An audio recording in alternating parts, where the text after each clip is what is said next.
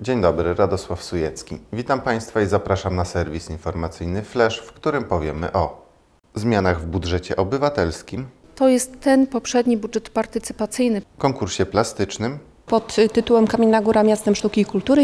a na zakończenie zaprosimy Państwa na majówkę do Lubawki.